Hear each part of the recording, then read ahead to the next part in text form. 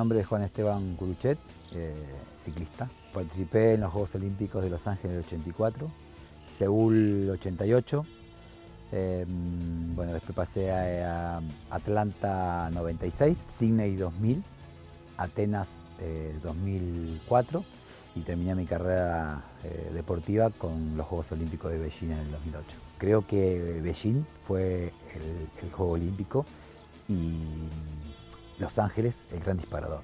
Para llegar a ser campeón olímpico tenés un super temple en el cual eh, primero sabés que los eventos y principalmente el, ciclismo, que dependes de algo mecánico y también de tu cuerpo, se ganan cuando baja la bandera. Estás tan concentrado, tan metido que es terminar la carrera de la, forma que está ese resultado porque es el que te hace campeón olímpico. Si vos eh, venís concentrado con el evento, estás concentrado en eso. Por eso la alegría viene con el momento ese pum, que suena el disparo de la última vuelta y bueno, ahí aflojás porque venís en, no digo en una tensión, es una concentración, como vos venís eh, metido en una burbuja que es el cartel de, los resultados, el cartel de las vueltas, eh, el técnico y la, estrategia que vos ya sabés que tienen todos tus rivales. En el momento que agarré la medalla, me la puse en la, que, la, que, le que la besé, se me rebobinaron todos los años de mi vida, en un segundo es increíble, es una cosa muy, muy, muy linda, muy especial. Después sentía que estaba en el aire,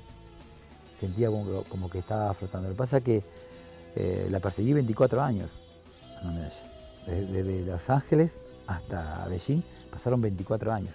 Y 24 años pensando ese día. Cuando vos eh,